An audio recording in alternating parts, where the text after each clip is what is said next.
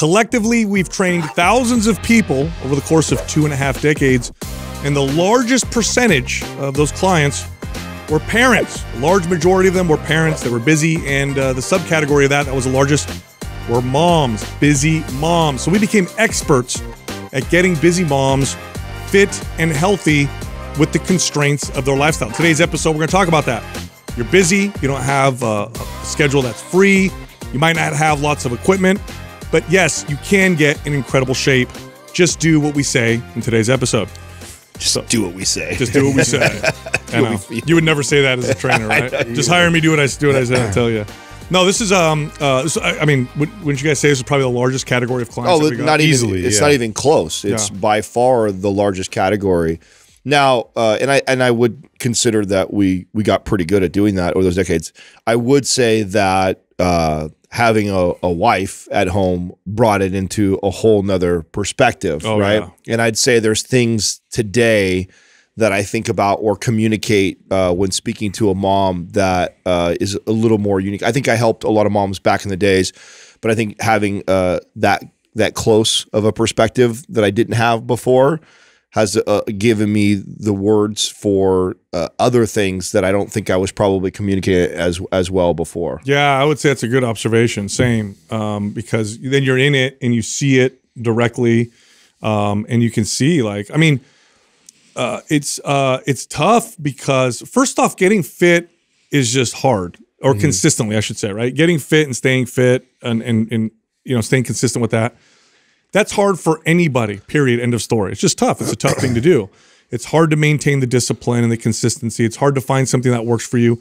It's hard to understand how to train your body in a way that's effective, where you're not overdoing it, or you're not hurting yourself in a way that, you know, you feel like this is great. I enjoy doing this type of deal. So it's hard across the board. But then you throw on top of it, you got kids yeah. and children, especially when they're young are very, very demanding. Anybody who has little kids will tell you that all day long they're demanding. You, yeah. you might get a break here and there, but it's just demanding all day long. And then to make it even more challenging, it's unpredictable. So unlike a work schedule, where you go to work at a particular time, you have lunch at a particular time, and then you finish at a particular time, typically. Yeah. Raising kids is not like yeah, that. like nap times can be super unpredictable. Sometimes they go down for a half hour. For some reason, they wake up. The other time, they, they sleep longer. This one went down. This one didn't. Uh, you know, this is going on. They're a little sick. They're cranky.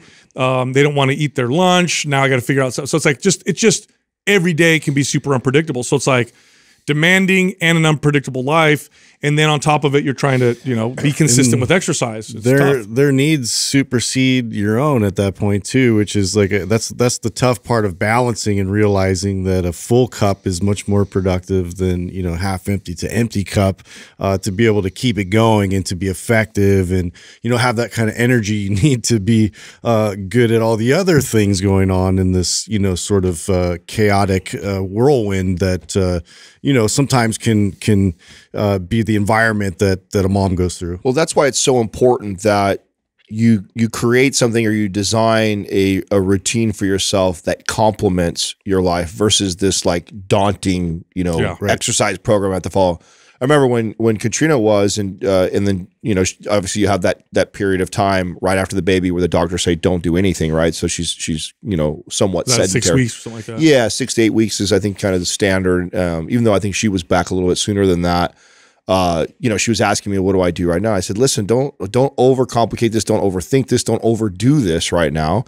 like start with just purely like mobility stuff. What's beautiful about that is the baby can be laying right there on on the living room floor and you could be in there doing a lizard with rotation right afterwards and you are moving in the right direction, creating good habits and you're already starting to lay the foundation for how I'd want you to train anyways even if you didn't have a kid. These are things that would be good for you to do especially post having a child. So yeah, no, that's a good point. Uh, because what you're saying, by the way, is uh, for anybody, not just somebody who has kids and is busy in that sense, is that people tend to overcomplicate things anyway.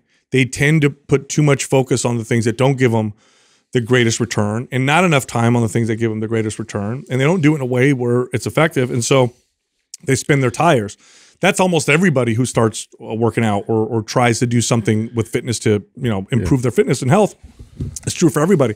But then again, you throw kids on top of that in that environment, and it just complicates things even more. I, I think one of the biggest uh, things that I figured out in my career as a trainer was if I gave these people options so that whatever popped up, they had an option that was effective, mm-hmm. then they had more tools in the tool belt and they were less likely to miss their workouts. Yeah. Right. So it's like, you know, there's workouts you could do at the gym, but can you do things at home? Yes. Here's some things you could do at home. Here's what that structure looks like. Can you do things at home for only 10 minutes? Because sometimes that's all you have, maybe twice or three times a day. Or the things you can do at home that require no equipment, or you can use bands, or you can use body weight. And then when you do have that time, what can you do at the gym with weights and stuff like that? So it's like, here's your options. Here's how we're going to structure this. And then you can somewhat, and I'm saying somewhat because I know life can be almost impossible, but somewhat roll with the punches and develop this consistent, super effective, and I want to say that clearly, mm-hmm. super effective routine. You're not trading effectiveness for what I'm talking about. If you do this right, you're going to get incredible results but you just got to know how to how to put it together. Yeah, it's then speaking to those tools, it, it's like this, you know, finding that sort of hormetic dose, that right dose. If it's a ther therapeutic dose, you can create like a therapeutic kind of session uh, using mobility, using like different movements to actually restore, um, you know, energy and to get you to uh, feel like, you know, you, it's something that's a little bit less taxing and demanding, but it also helps to kind of keep the momentum and keep um, stimulating the body in an adequate way. And then also, you know, you can go to more some days where you have uh, a bit of that energy where you can express it a bit more and you can go a little more intense. And so now we're moving more towards our adaptation and muscle building. And so there's ways to kind of weave in and out based off of feeling uh, what's been going on uh, in your environment and also what's you know most best to apply here. Yeah, and that's and by the way, cumulatively, you now have an effective routine. So you need to be able to do all of that, and that's true for anybody, by the way. So everything we're saying now, what we're going to talk about today, actually applies to everybody. We're just being more specific to the to the general demands and challenges that uh, busy moms have. What's up, everybody? Today's giveaway, the Fit Mom Bundle. We'll give that to one of you for free, but here's how you can enter to win. Leave a comment below this video the first 24 hours that we drop it. Subscribe to this channel and turn on notifications. If you win, we'll notify you in the comments section. Now, everybody else, we've put all the bundles that apply to the people that we talk about in today's episode at 60% off for a limited time. So that includes the Fit Mom bundle that I just talked about, the Bikini bundle, the Fabulous 40s bundle, and the Build Your Butt bundle. All of them 60% off if you go to mapsfitnessproducts.com and use the code FITMOMS. That'll give you the entire hookup. All right, back to the show. Generally speaking, there there are target areas that I think uh, you know moms tend to to say, "Hey, this is what I want to focus on." Uh, the first one would be their core, and this is for obvious reasons. If you're a mom, especially if you have little ones, you just had kids or you just had a baby, the muscles of the core have to shift, change, and some actually have to atrophy, right? They have to weaken in order to make room for growing baby. After the baby's born, if you don't train the core properly, uh, according to where you're at, meaning you can't just jump into a core routine, there's proper movements and exercises, then your your risk of injury goes up, and your results, uh, your your the possibility of good results declines uh, quite a bit. Another one is your posture. Posture is greatly affected by pregnancy and breastfeeding and raising kids and holding kids. And if we don't work on the muscles that support the type of posture that makes you feel good and you just jump into a workout, you'll actually strengthen a posture that is not beneficial. You'll actually just strengthen this this this new posture that you have, which will make things a lot more difficult and delay results. So posture is something that you want to consider quite a bit um, as well. And then, of course, this is common for most women anyway. But the glutes. Now, the glutes, of course, is aesthetic reasons. It looks nice to have developed butt or whatever. But also, this is part of the hip complex. Supports the low back, prevents things like low back pain, improves locomotion, gives you stability, um, and then of course it looks really good. So those are the areas that you really are things to really consider um, with people. And of course, there's individual variances. You know, if you're listening, you may have other specific areas you want to work on. But generally speaking, those are the areas that tend to be communicated. And you can't stress enough the the posture and core thing, um, you know, coupled with mobility work, right? I remember telling Katrina this, and I know she was antsy to get back into lifting weights because she, you know, felt like she had been inconsistent, obviously, for that period of time and wanted to get her body back into shape. And what I had to explain to her is like the, people always confuse mobility work with like yoga.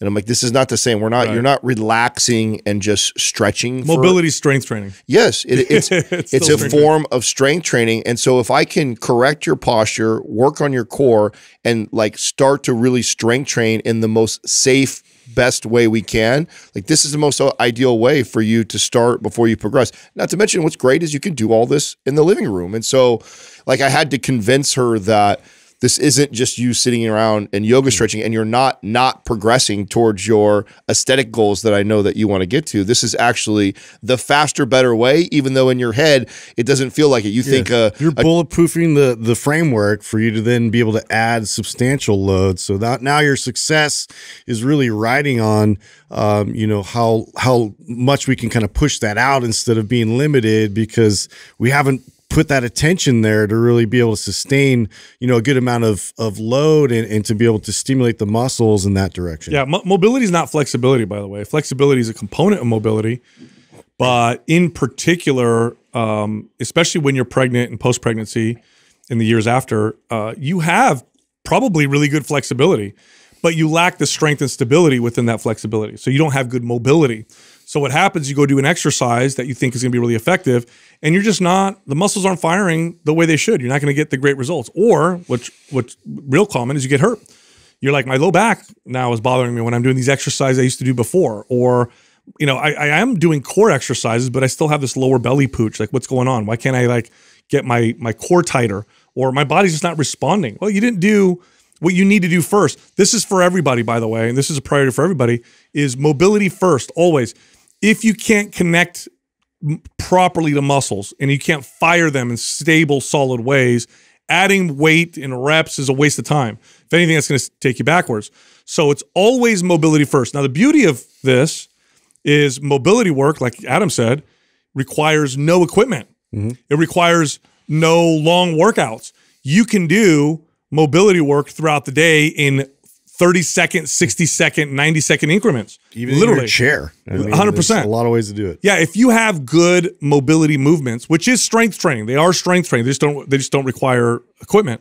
And you're starting out and you're doing this, or let's say it's a day where you couldn't make it to the gym, throughout the day there's probably at least 5 to 10 moments where you could do something for 30 seconds to 60 seconds of mobility. So when you add it all up throughout the whole day, you did like 30 minutes of, you know, or, or 15 minutes of, of mobility strength training work. You actually got throughout the whole day something that is, you know, close to strength training or is strength training just with the mobility focus. So the beauty of it is it's super convenient, doesn't require equipment, doesn't require space, very little space. And it's something that you could do, again, you can do this on an almost daily basis. In fact, if this is all you did, if you're not working out now, and all you did was work on mobility throughout the day because you had just it was just too crazy. You couldn't go anywhere. You had no equipment. You couldn't do anything. And all you did were these small increments of mobility.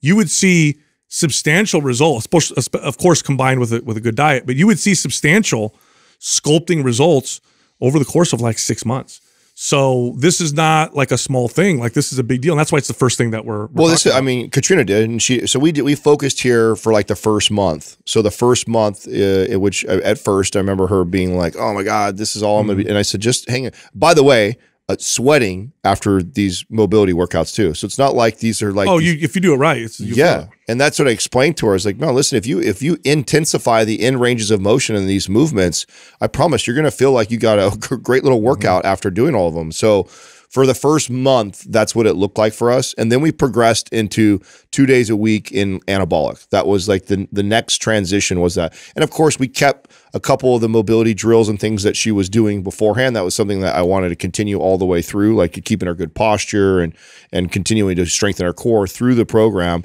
But then now we were ready to kind of start to do load, which MAPS anabolic was the that's transition. the second yeah that's the second piece is you know your mobility first because we're setting the foundation, we're progressing through that, and then when you have those opportunities to do a good workout, the primary pursuit, the thing you should aim for and measure is strength. Strength is in this case, in many cases, but definitely in this case, the best pursuit you can go after because if you're getting stronger, you're probably feeding yourself properly. If you're getting stronger, you're definitely most likely building some muscle. If you're getting stronger, that muscle is going to contribute to a metabolism that's faster, which means you're going to burn body fat easier and you can eat more while burning more body fat. And if you're getting stronger and building muscle and speeding up your metabolism, your hormones are also probably organizing themselves in a way to do so, which is a, a hormone profile that is more youthful. So growth hormone levels are better, more balance of estrogen and progesterone. Testosterone levels, yes, this is important for women too, are optimized. So if you pursue getting stronger, then you're and you get stronger, you're moving in the right direction. Versus if I look at the scale or the mirror or almost anything else, how sore I get or anything else, all of those can or cannot mean good things. Oftentimes they mean bad things, especially if that's all you're measuring. For example, if you're just looking at the scale, boy, can you lose muscle and lose weight on the scale and feel like you're progressing when in fact you just made yourself actually a higher body fat percentage. You just set yourself up for for, you know, much more struggle in the future. But if you focus on getting stronger, like this is this is where you're where you're probably going to do your best. This is where I had a lot of success. I would get mm -hmm. these moms and we'd be like, they'd say, I want to lose weight. I want to do this. And I'd say, I just want you to add 50 pounds to this lift right here. And they would laugh. And I'd say, no. And yeah. I'd explain to them. And then we would do it. And that was it. Once I showed them what that felt like and what it did for them, that was it. That's all they wanted to do. Yeah, it's interesting. Like, you know, taking from postpartum and like what you're really dealing with is like an entirely different body. You have to get back in your body.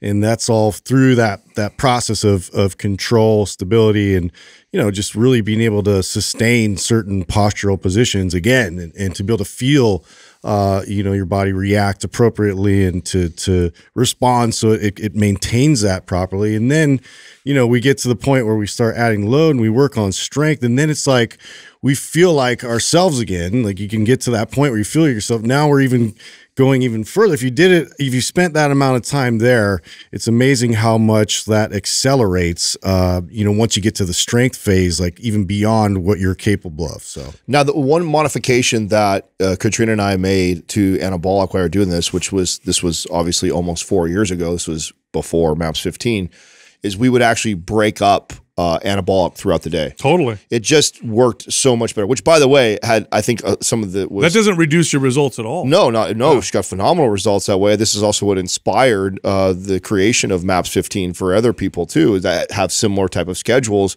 It just worked so well for her to be able to just break away for these in these little 10, 15 minute or single like just one exercise she would go do and then come back. Uh, worked really, really well. And so that was the goal. The goal was okay, We've we've focused a lot on uh, uh, mobility. Now we're going to transition into strength training.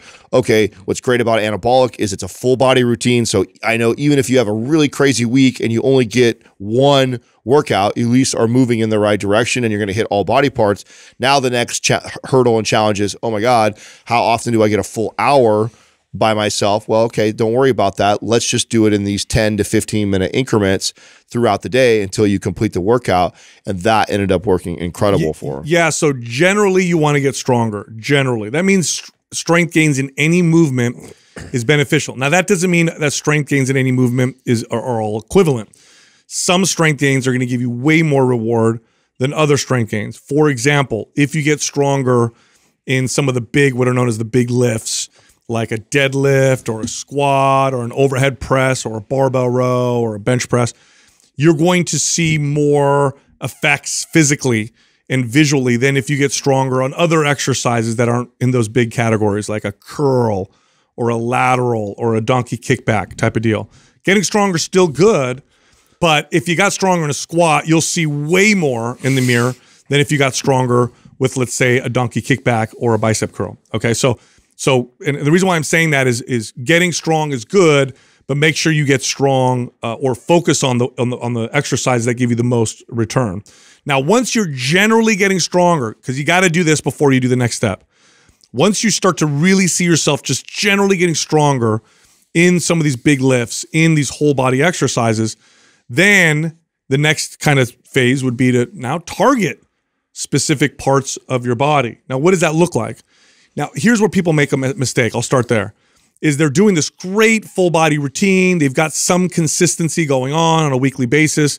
They're getting stronger overall. And then they're like, you know what I want to do? I want to put more emphasis on my butt or more emphasis on my shoulders or my back or my core.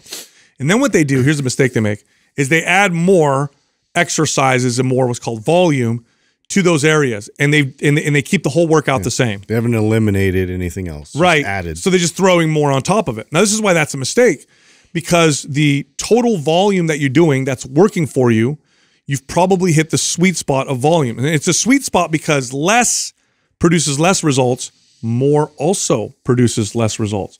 So if I take that sweet spot and then add volume to it because now I want to work on a specific part of my body, I'm going to move out of that sweet spot. Even though I'm putting more emphasis on that particular body part, I'm actually going to get less overall and less in including on that specific body part because now I'm doing too much volume overall. So that's one of the big mistakes that people make. So what you do is when you've got this routine that's working, you're building general strength, and then you want to start to get more specific. You don't just add volume, you take volume away from some areas so that you can add it to the specific area. So think of it this way: you have hundred chips that you can use.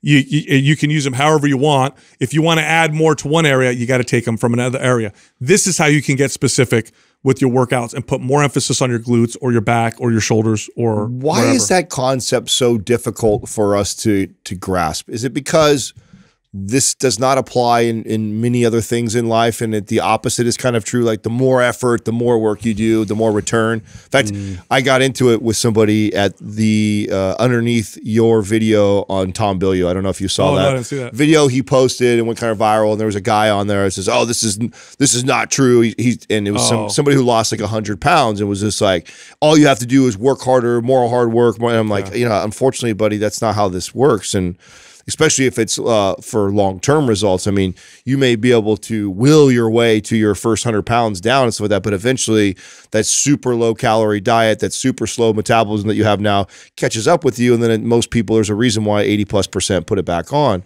So what is it that causes us to to not see that, to look at a routine and go like, I want more, or I want to build a butt yeah. now, so let me throw more on. Is it is that why? Because there's nothing else that's like that? That's I mean, it's a general rule that tends to work, not always, but it tends to work. I think people hit the wall in a lot of ways with that. Like at some point, they start to work too much or they start mm, to do too mm. much in other areas.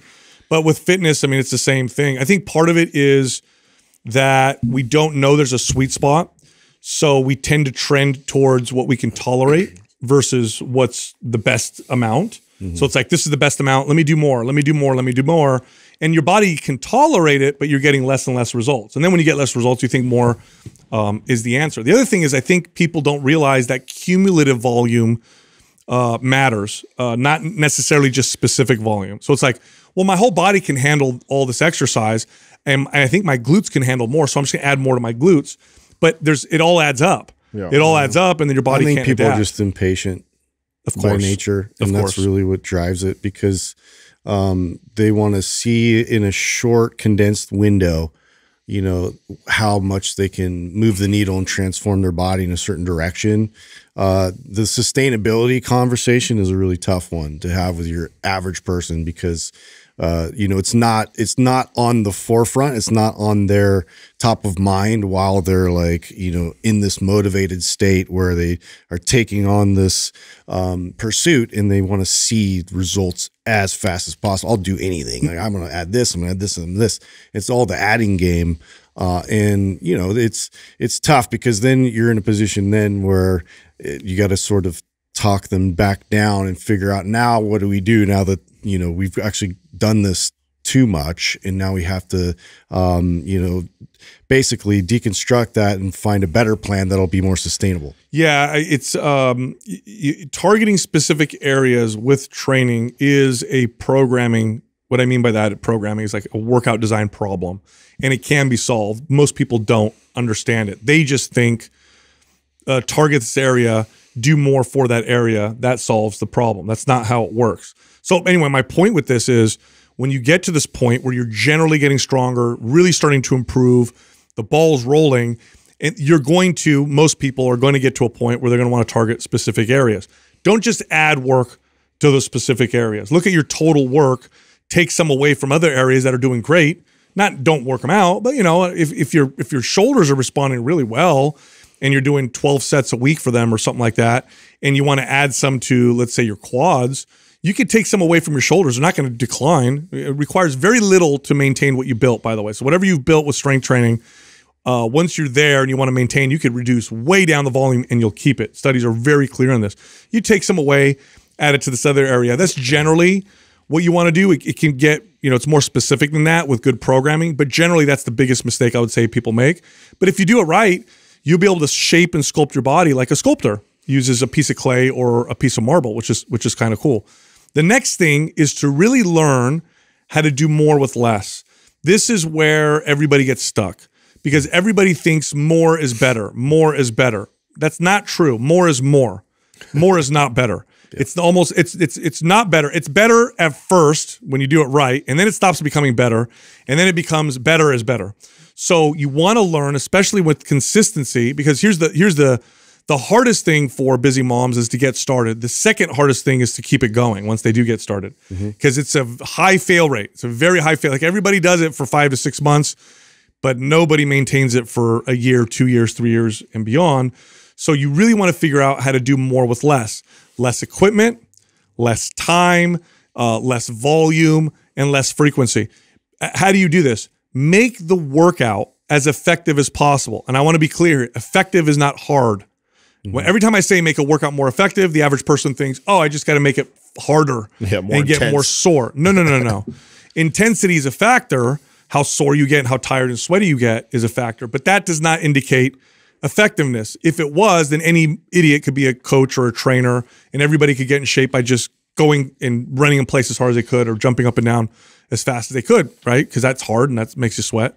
No, no, no. Figure out how to do more with less and really start to learn how to fine tune your workout. Really, it's like any job that you do. When you're doing a job, you start to figure out how to use tools to make yourself more efficient. Mm-hmm. You could dig a hole with a spoon uh, it, it definitely could happen. Would take you a long time, but man, you start to figure out how to use a shovel. Now you're doing a lot of work with way less time. So do more with less.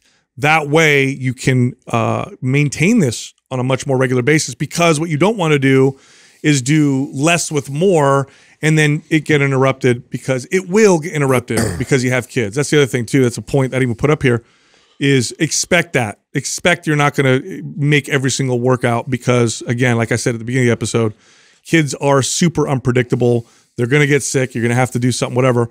So doing more with less means there's less to screw up because mm-hmm. you're just far more effective. Well, I, and I think that's probably um, one of the best ways to define what MAPS Anabolic is to me. Yeah. I mean, it's yeah, sure. it's really the most uh, simple program that we have as far as the amount of exercises that are chosen to build that, right?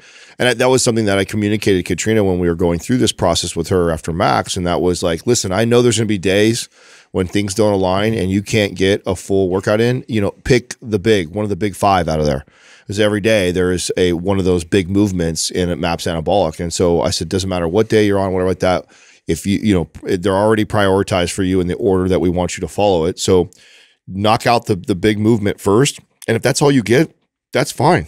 Mm-hmm. You doing a, a good compound lift, one of the big five, meaning the overhead press, the squat, the deadlift, the bench press, or a row, like one of those movements is a good is you you hit so much of the body in just that one movement that you oh, it would take five exercises to equal one of those. Yeah. Right. And so. so. it's like it's okay. It's okay that you you do that. I mean, that's again, this is how MAPS 15 was kind of born. Is we, we literally take two of the big movements a day is all you're really doing in that entire routine. But those give you so much return. And I, I think so many and I'm guilty of this too as a as a young trainer of overcomplicating the process of getting in shape and realizing like, God, if I just made it like routine that I never missed these big lifts. Like if you just hit every big lift one time a week, yeah. you'd be mm-hmm. surprised how healthy, fit, and strong I know. Of, a, of, a, body you would have. I had clients just from that that we did just that. Yeah, because their life was so crazy, we did just that. Yeah, and I had to convince them that that would be effective at first because they're like, "This isn't going to work." Right. And I would tell them. I actually had one lady. I just remember this. I just one of those memories that you you just pop up that you forgot. I had a I had a client that I had to convince of that and the way I convinced her was I said, look, if you don't get value out of doing that, I'll refund you. I never tell this to people because so much is dependent on the client that you know you'd end up losing money because uh, clients not the one they're not showing up they're not doing the work so it's always on them right? But i told her i'll refund you. As long as we do this if you don't get the value out and afterwards she was like i did not believe you. I did not think it would work. In fact i was doing this to prove you wrong and i can't believe how my body's progressing and i said because it's effective Yeah. we're focusing on what is effective now that takes us to the next point uh, which is when time does permit add volume uh, and add the time that you are working out. And, and now this is going to ebb and flow. This Yeah. isn't just, you know, over time. I've been working out for years, so now I could do more, and I get, you know, I have to do more to get more results, type of deal. That's true. Also, I mean, when I say this, that there are going to be those times when you put your kid down. They normally nap for an hour. They're down for wow. They're still sleeping. Yeah. I'm going to add some more exercises Yeah. or some more mobility. Or hey, grandma is taking the kids today. Or hey, you know they're with the other parent or whatever. I got more time. This is when when time permits.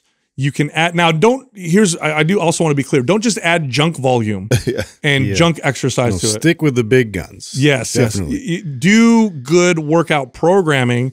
Have it organized so that when the time does permit, here's what I'm going to do, and then boom, you get this incredible uh, result from doing so. So when you add that time and that volume when time permits, you reap the benefits of it. Not just the fact that you're moving more, but you're actually moving towards, uh, you know, this this, Well, this goal. And I think that's why it's important in the previous point that you look at it.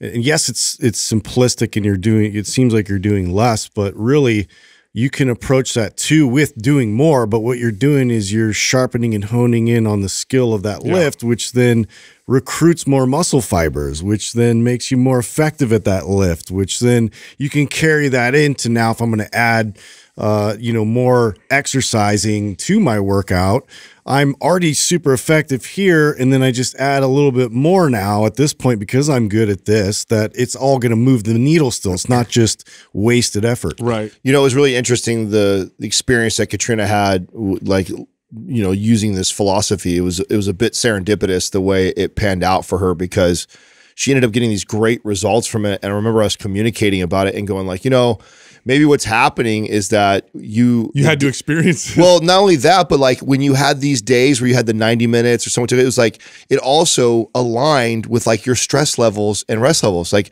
you all of a sudden had more time to work out because the baby got more sleep, or maybe I relieved you at that. So then you could get after it at the workout. You could increase volume or increase intensity a little bit. And then days when it was a little more hectic and stressful, maybe you just did a little bit of mobility or 15 minutes or 20 minutes of working out. It was kind of interesting how kind of just uh, giving yourself that uh, freedom to say, I don't have to have this perfect structure every single day that and it's a failure if I don't finish it or do this it's just that hey I'm going to I'm going to I'm going to ebb and flow with my lifestyle with my stress levels with my sleep with the baby sleep and then just give myself that permission to go in and do one exercise on some days. And then days when I feel great and rested and someone else has a baby or I come home early or something like "Ah, I'm going to get after it. And I, it, it was kind of interesting. It really forced her, I think, to instead of like, cause she was, she's an ex athlete, right? So she has that athletic mindset where if you tell her what to do, like, I'll do it. Right. And she'll like muscle her way through it. Where when we were going through this process together and she was asking me, well, what do I do? I'm, like, I was, a lot of the conversation sounds like this conversation we're having now was I was saying, Be like water. you, yeah, it was, it was like be like water. You know, feel how you're feeling today and really go off of that and learn how to listen to your body, pay attention to your rest, pay attention to your stress levels. And then here's all these different things that you know are supporting you or helping you towards your pursuit. Learn to pick and choose when to throw. And it just worked. it were this is the beauty but also the challenge of strength training the beauty of strength training is it's so effective there's no form of exercise that's as effective on a time for time basis right? And when you're comparing when you're comparing direct time 60 minutes of strength training 60 minutes of cardio 60 minutes of strength training 60 minutes of any other form of exercise when it comes to sculpting the body speeding up the metabolism burning body fat and just getting results okay? Strength training is super super effective. The the the beauty of strength training is it's the most individualized uh, uh, individualizable I should say form of exercise. I can take it and mold it and shape it to anybody anybody's schedule.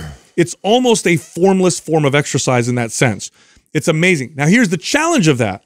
the average person's like, well, what do I do if I got this infinite number of ways to modify this and follow this pro, you know, workouts and like I know exercises, but you're telling me I got to put them together in a particular way. And sometimes I'm working less, sometimes I'm working out more, sometimes I don't have equipment, sometimes I do have equipment.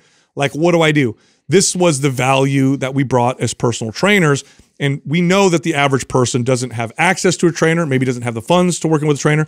So here's what we have we have workout programs. And what we did is we put together all the best workout programs for this category that we're talking about right now. And we have several bundles that we've identified to be the best for this particular individual. Now, we talked to our sales uh, team. They wanted to put it on sale. We said, let's put it on even bigger sale. So here's what we're going to do 60% off every single one of the ones that applies. And what do we put in these bundles? Programs that allow you to work out without equipment programs that let you to work out for 15 to 25 minutes, programs that give you more time when you have more time, when you can go and lift weights, programs that utilize those big compound lifts so you get the most bang for your buck, programs that allow you to target specific areas so you know what that looks like. So we have all that and more in all these bundles and programs that we've categorized for these particular individuals. The names are the Fit Mom bundle, we have the Bikini bundle, the Fabulous 40s bundle, and the Build Your Butt bundle, which includes all of them include multiple programs. Every single one, 60% off. So if you're interested in doing one of those, what you do is you go to mapsfitnessproducts.com, find one of those bundles, and then use the code FITMOMS, and that'll give you 60% off any uh, one of those things. You can also find all of us on social media. So Justin is on Instagram at Mind Pump Justin. You can find me on Instagram at MindPumpDeStefano, and you can find Adam on Instagram at MindPumpAdam.